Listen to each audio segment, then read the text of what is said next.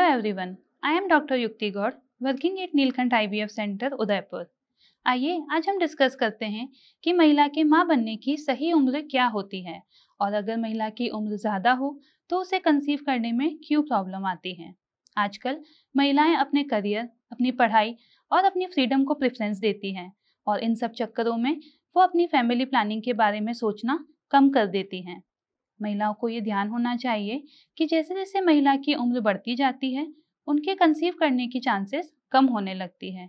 साथ ही साथ अगर कंसीव हो भी जाता है तो अधिक उम्र में महिला में एबोशन का भी खतरा बढ़ जाता है। हर महिला ये जानना चाहती है कि महिला में प्रेगनेंसी होने के लिए बेस्ट एज कौन सी होती है।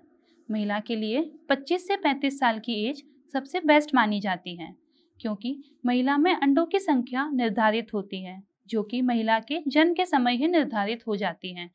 और हर महावारी के समय अंडों का खर्च होना शुरू हो जाता है।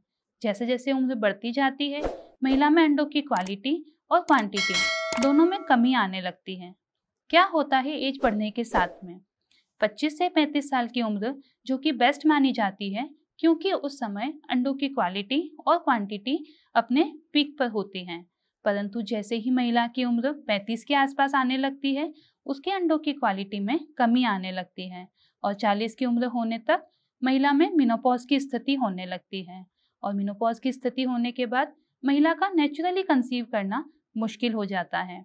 और अगर अधिक उम्र में महिला कंसीव कर भी जाती है तो उसके अंडों की क्वालिटी कम होने के कारण उसमें एबोशन का खतरा भी ज़्यादा होता है।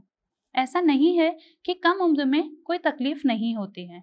कुछ डिजीजेज ऐसी हैं जो कि अंडों की क्वालिटी और क्वांटिटी दोनों को कम करती है, जिसके कारण कुछ महिलाओं में कम उम्र में भी कंसीव करने में प्रॉब्लम होती है, जैसे पीसीओडी एडिनोमायोसिस एंडोमेट्रोसिस और ब्लॉक्ड ट्यूब के कंडीशंस में भी महिला को नेचुरली कंसीव करने में प्रॉब्लम होती है। अगर आपकी उम्र भी 35 से ज़्यादा हो गई है और आपके प्रेगनेंसी नहीं हो पा रही है या फिर शादी को एक साल से ज़्यादा हो गया है और प्रेगनेंसी होने में कोई तकलीफ़ हो रही है तो ऐसे में आपको अपनी एज का ध्यान रखते हुए नेचुरली कंसीव ना करने पर अपने एक्सपर्ट से कंसल्ट करना चाहिए।